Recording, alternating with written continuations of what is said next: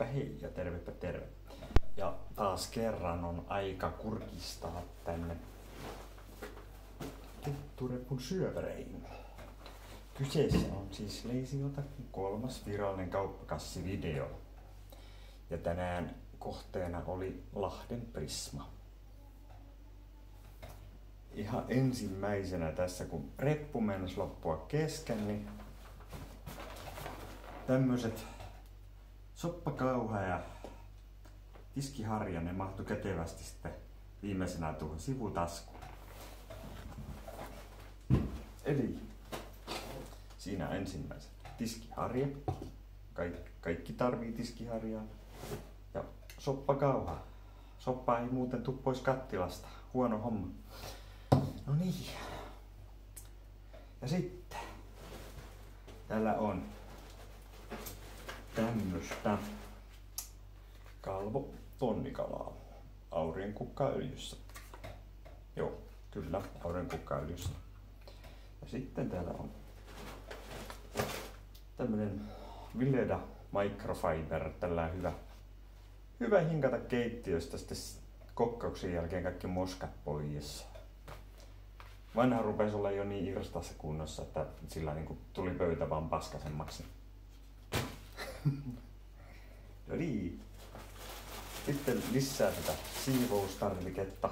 Vileda Style hankaussieniä, jos on oikein kinkkisesti jämähtänyt rasvaa, niin näillä se kyllä lähtee. Kiinni palaneet hellakin ja muut. Yeah. It's good. Sitten makeisia tämmönen hyvää makumasta salmiakki. No niin, sitten toinen hyvää makumasta salmiakki. Nyt on lisää tonnikallaa. Samaa kalvoa, mutta tällä kertaa chilillä maustettuna.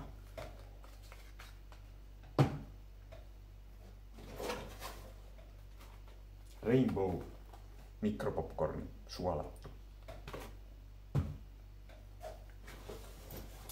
Ja tietysti mitäpä muuta kuin kaksi pulloa sosasolaa, eli tää Coca-Colaa.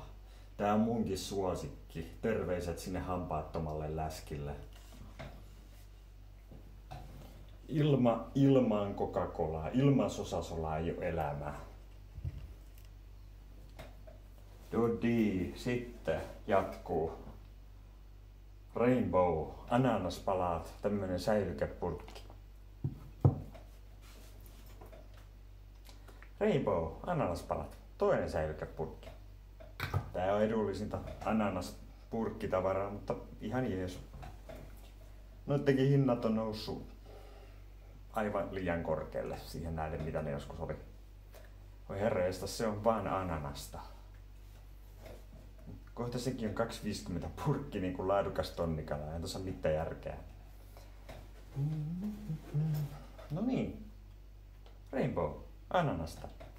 Nämä, nämä on äärimmäisen käteviä pitää jääkaapissa. Jos tulee sinne pieni nälkä, niin ei sitten tarvitse tehdä mitään muuta kuin kansi auki.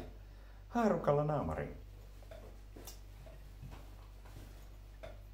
Rainbow, tonnikalaa, ananasmehussa. No niin, siinä oli ei tonnikala ananasmehussa, kun ananasta ananasmehussa. Hemmekki.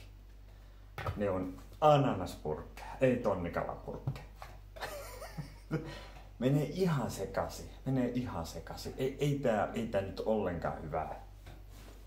Ja sitten, sehän johtuu vaan siitä, että me ei ole saatu päivän ra- rautaisannosta, eli Megavor, Megavorse energiajuoma. Yksi Megaforce energiajuoma. Toinen Megaforce energiajuoma. Tämä on edullisinta energiajuomaa. Alle euron purkki vielä Prismassa, onneksi. Ja jostain syystä tuonkin hinta on noussut aivan päättömästi. Mä en tiedä, mikä järki siinä on. Eihän tässä nyt oikeasti ole mitään niin kuin euro 50 sentin arvosta. No, mä tiedän. Ehkä pärinät on joillekin priceless. Eli kolmas megavorse. neljäs Megaforce. Näin kun juo kaikki samana iltana, niin saa hyvät pelkotilat kaupan päälle. En suosittele. En, en todellakaan suosittele. Ja sitten viimeisenä, mutta ei vähäisimpänä tämmönen valio hedelmäpommi jukurtti. Tähän on kanssa ihan bueno. Ei tarvitse tehdä mitään muuta kuin korkki auki ja naamari. Oliko täällä muuta? Ei, siinähän ne olikin sitten. Niin joo, olihan siellä grillattuja kanankoipia ja vähän juotavaa matkalle, mutta ei niillä nyt ole niin merkitystä. Ja mihinhän mä sen kuitin laitan?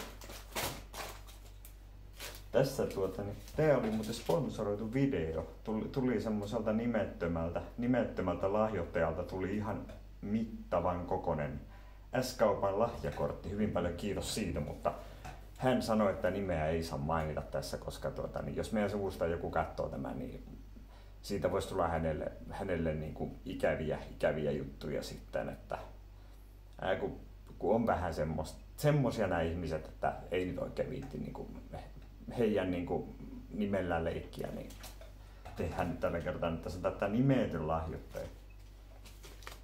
Ja koko, koko paketin hinta oli yhteensä 33, 33 euroa ja 91 senttiä, jos sitä näkyy. Onko se väärinpäin? No onko se nyt väärinpäin? Ei, nyt se pitäisi olla oikeinpäin. Siinäkö se näkyy? Taitavi näkyä. Jos on väärinpäin, niin ei maha mitään sitten. Eli sellaiset tällä kertaa ja vielä kerran paljon kiitoksia tälle nimettömälle lahjoittajalle, joka käytännössä pelasti mun köyhän tubettajan kuukauden, kun se kelaa nyt vaan saatana pihtaa. Kelaa pihtaa. Terveiset Niilolle, kyllä, kyllä. Mä niin kuin köyhänä tubettajana ymmärrän. Tämmöisenä niin kuin vanhan kansan muumianarkistina ymmärrän, että ei hemmetti, kun se kelaa vaan pihtaa.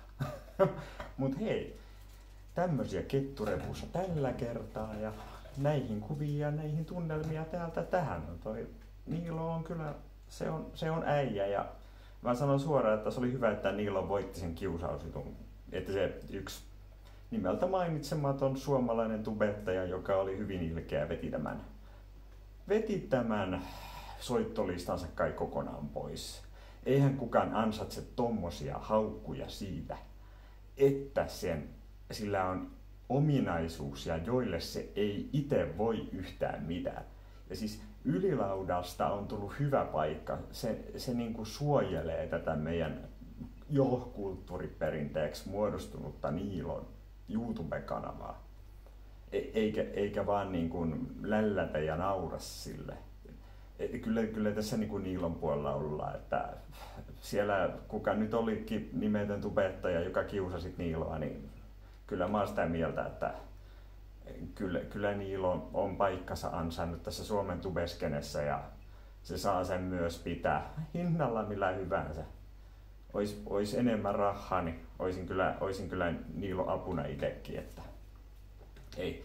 Mutta ikävä kyllä, niin kuin sanoin, niin tässä mennään niin kuin muiden avustuksella itsekin, että jos ei ole ikävä kyllä mitään, mitään annettavaa, kun se toi Kelaa se vaan saatana pihtaa. Kela pihtaa.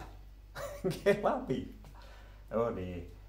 Näihin kuvia tunnelmia täältä tähän vielä kerran ja hyvää päivän jatkoa kaikille ja kiitos kun katsoitte videon. Jos tykkäsitte, peukku ylös. Jos ette, peukku alas. Ja tilatkaa kanava ja pistäkää ylä- tai alapeukkua ihan mielen mukaan. Kaikki, kaikki julkisuus on mulle hyvästä. Että tämmöstä sitten tällä kertaa ja nähdään seuraavassa videossa. Tässä nyt, katso, pitää tässä nyt sitten vielä sanoa paljon tsemppiä Niilolle sinne ja toivottavasti se toinen tubettaja oppi tästä jotain, että ei kannata lähteä ylilaudan kanssa hippasille. Voi äkkiä, äkkiä voi käydä huonosti ja ylilautaa ennenkin näitä vähäosaisempia tukenut. Niilokin sai silloin, kun Niilokin sai hyvät palkinnot silloin ylilaudan lahjoittamina, kun Tupekoni, Tupekoni sorsi sitä todella törkeästi. Kun eihän pelkillä, eihän pelkillä kunniakirjoilla ruokaa osteta tai studio kehitetä, kyllä se näin on. No, mutta eipä tässä muuta ja hyvää päivänjatkoa ja Leisi Otaku täältä tähän. Leisi Otaku over and out.